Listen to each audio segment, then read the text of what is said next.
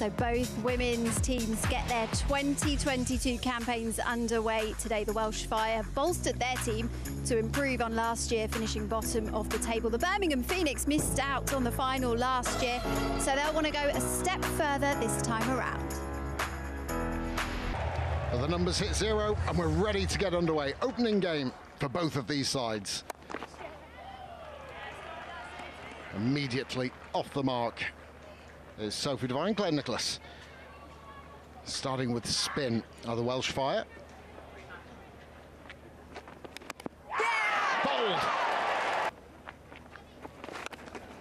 Great shot. Great shot from Devine. Up and over the top. Shouts of catch. Taken. What a wonderful. Four.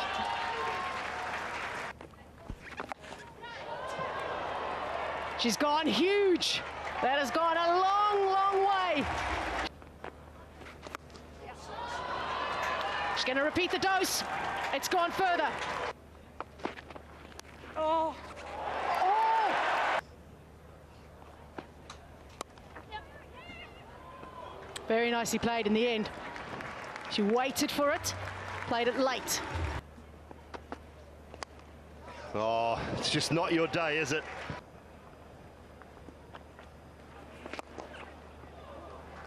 Well, she may not have played since the World Cup final, but this is a player who never loses form.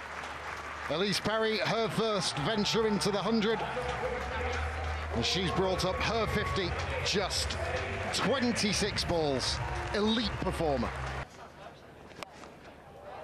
Once more, it goes high. Another chance. Edgton Court.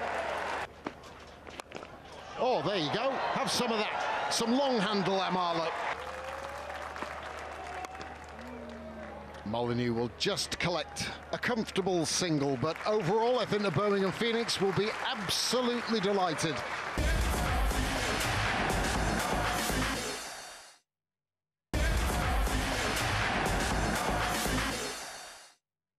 Starting with spin.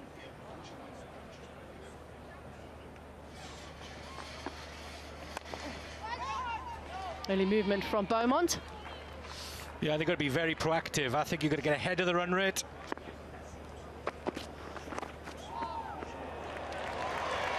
It's very well played in the end by. That is absolutely sensational. Oh, it's a full toss now. Has to be put away. But whether they can spread that far is unlikely. On the pitch today. Caught. Just chipped. Maybe a fingertip from Emily Arlott, but... To really punish it through the offside.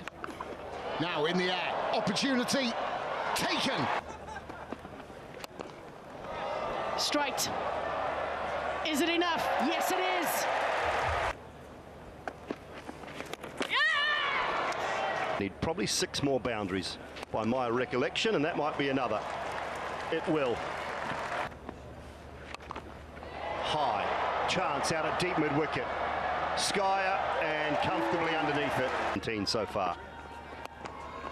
Down the wicket, down the ground. That is a lovely strike.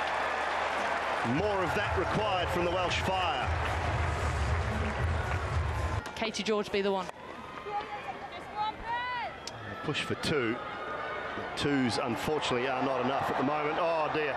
She's fallen over, and it'll be a run out. It is out. Ellyse Perry again out in the deep. Going upstairs, but I... Definitely noticed her brilliant work today, and there we get it. The confirmation, Fran Wilson is out. Run out, and I wouldn't mind having a little look back at that, actually. I, I think there possibly was a little collision, potentially.